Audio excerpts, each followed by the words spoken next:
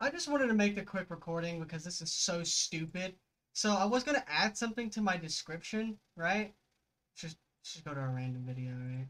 Yeah, right. You know, like the heart emoji, the old heart. I like to use the old emojis because they're less cringe, and I feel like they're more genuine and less spammy. But look at this. I was gonna put this in one of my descriptions. Angled brackets aren't allowed. Come on, YouTube. Stop being a garbage platform for once and actually start being a decent platform. Like YouTube is no longer a good platform. It hasn't been for like since 2018. YouTube needs to be better and honestly, I honestly I honestly don't believe YouTube's going to be around in 5 years.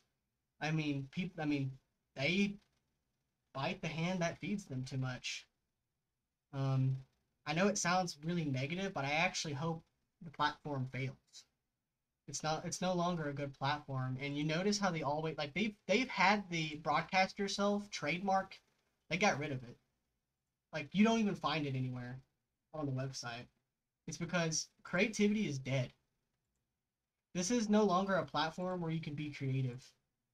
So, yeah, I just wanted to get this out there because it's, it's so stupid. I know it seems stupid over like something like that, but like you keep we keep losing features some some stupid basic stuff too, but all like they, there's so many basic stuff that's been removed where it it actually adds up to a lot.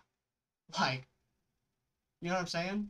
Also, it's just frustrations like age restriction happening for no reason, just all kinds of issues. Like YouTube is no longer a good platform, and I just wish there were more competitors.